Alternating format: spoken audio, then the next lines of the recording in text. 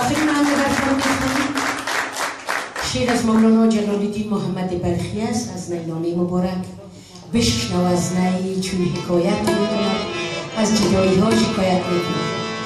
از ساخته های استاد بزرگوار استاد شهید ما. پدر موسیقی پاک در افغانستان استاد نینواز است. روحشان شاد باشد همراه جمعی استادایی که فوت کردن تشکر. وقتتان می‌گیرم ببخشید حتما می‌خواستیم بریم که من یادم.